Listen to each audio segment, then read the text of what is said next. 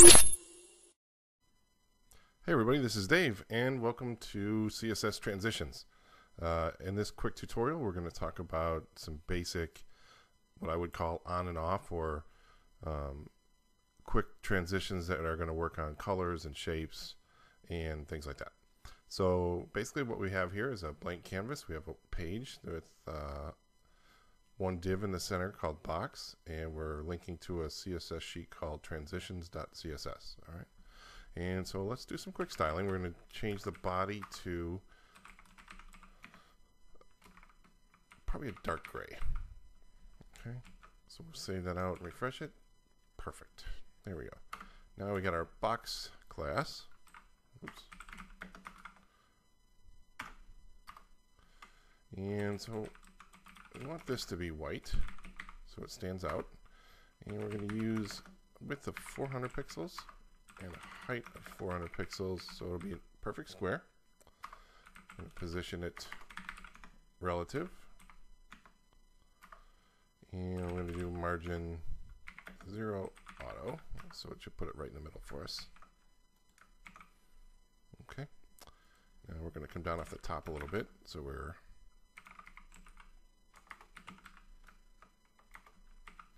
If I can type, we can. there we go. All right. So basically, that's kind of centered. I don't know exactly how perfect it is, but um, now from there, uh, that's pretty much it we need to do for the styling. Now, what we're going to work on is changing. At first, we're going to change the color from white to another color. All right. And so we're going to talk about this a little bit, but this is a transition property. And the property we're going to transition is the background. Okay. And how we're going to do that is we're going to transition that color change on hover. Okay, so how we do that is box hover.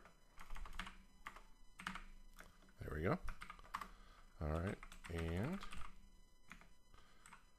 I'm going to background to blue. Okay, and so if we save and refresh the page, we see it works and it's instant. All right, and so what we would want to do though is usually that's not really that cool of an effect, right? So we want to do some, we want it to take a little bit of time, right? So we'll do a transition duration. Uh, let's say two seconds. There we go. We'll save that out, refresh it, and look at that. Nice little smooth transition. Um, basically, the default transition itself uh, is easing, or excuse me, it's linear. All right, but we could do ease in. Let's see how that works. Right, so ease in is a slow beginning, and then a quick, kind of quickens up at the end. Right, so slow, slow, slow, bang, fast. All right, um, and so we've got a duration of two. So now, one of the oldest tricks in the book uh, to create a circle is to take a perfect square and put border radius of 50% on each of the corners, right? So let's do that, and we'll affect that on hover as well. And how we do that is we just simply add border radius to our transition property. Okay, and so now normally you can do, you can set your, it's just like mar margins where you can set your different corners but in this case, we're just going to do 50% for all of them so that it will actually give us a circle, right? So we'll refresh. And now it turns blue, and we also turn into a circle. Pretty cool, I gotta say. Okay, so what if we want to do something just a little bit cooler, and we want this to kind of invert itself, right? So what we can use is the rotate. On the y-axis and we'll do this 180 degrees. So basically we have a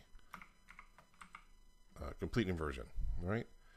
And so now we also have to add transform to the transition property right?